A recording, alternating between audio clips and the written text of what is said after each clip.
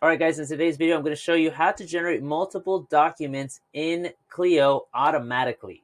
So how you would normally do this is you go to your Clio Case Manager and you click New Document from Template. This is assuming you have documents templates saved. And you might type in this document, right? And let's say you want a PDF of it. You'd have to come and you have to click Create, right? Then it takes a couple minutes. Then you, let's say you have a second document and you want to generate that as well. And let's say you want a Word version, you have to click create. And then you have a third document and so on and so forth. I'll just do one more. Um, and let's say that's a PDF and you have to click create, right? So if you're doing lots of documents, this, this can get very, very tedious and also it takes some time for it to generate as you can see. So what we do is we use Legal Ninja for this. So what I'll do is I'll come to my template that I'm working on. Uh, the only thing I'm really concerned about this right now is generating document templates. So I'll come here and I'll say, I want to generate this document template. And what it's doing is pulling up all the document templates you have, uh, the names of it. So uh, whatever you save as a document template in Clio, Legal Ninja can pull up for you here. So let's say I, I want that one. I want this demo sheet. I want a hearing notice. I want uh, this document.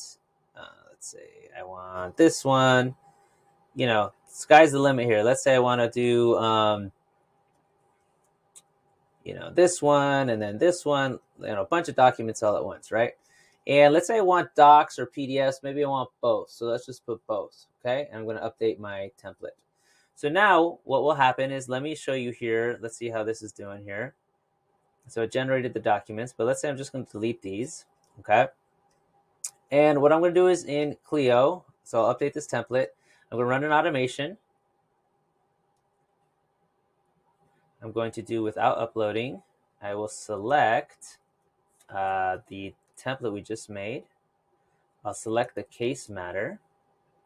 As you can see, it's go it upload it preset all these. So now all I'll do, just so you know, there's no documents here all I'll do is I'll click run.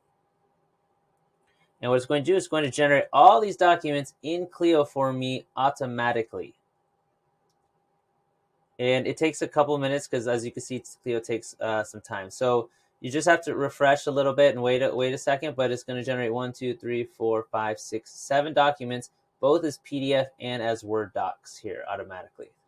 And there they are. See, that was way, way, way, way, way, way, way, way, way, way, way faster than doing it uh, manually, doing it one at a time.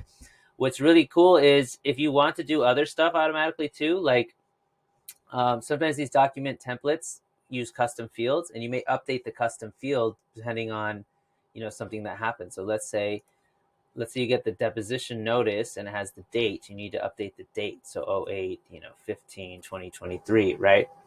What it'll do is it'll first update all your custom fields that you want updated and then it'll generate the document template. So these documents will be generated based on the latest custom fields you input into there.